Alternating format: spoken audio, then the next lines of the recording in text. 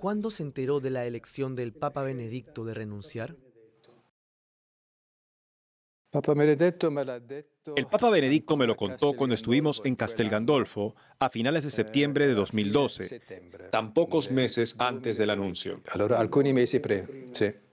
¿Cómo reaccionó?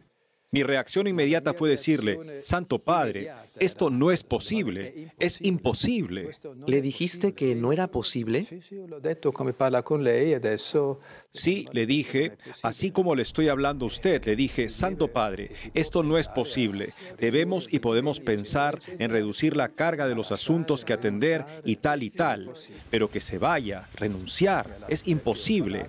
Hablé y me dejó hablar un rato y luego me dijo, te puedes imaginar que he pensado mucho sobre esto. He reflexionado, he rezado, he luchado. Y ahora les estoy comunicando que se ha tomado una decisión. No está en discusión. No es una cuestión disputanda o asunto a discutir, pero está decidida. Les digo ahora, pero no. No tengo que decírselo a nadie. Le lo dico e lei adesso non deve dire a nessuno. Lui mi ha detto una volta Él me dijo una vez, hice tantos años como papa, como Juan Pablo II cuando se enfermó.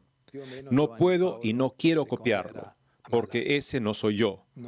Tengo que conducir mi propia vida, con mis elecciones, con mi fuerza, y no compararla con algo que al final no funciona.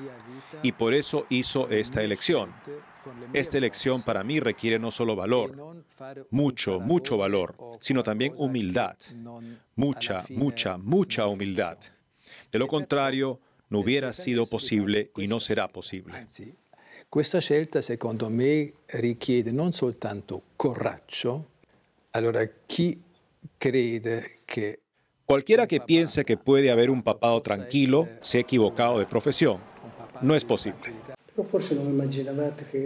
Tal vez no imaginaste que habría una pelea interna del Vaticano con escándalos sexuales, morales y económicos.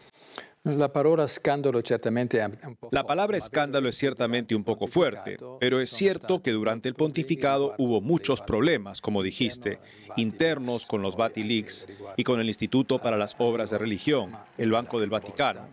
Esta no fue la primera vez ni la última durante el papado de Benedicto XVI, pero es obvio, como diría el Papa Francisco, el diablo no duerme.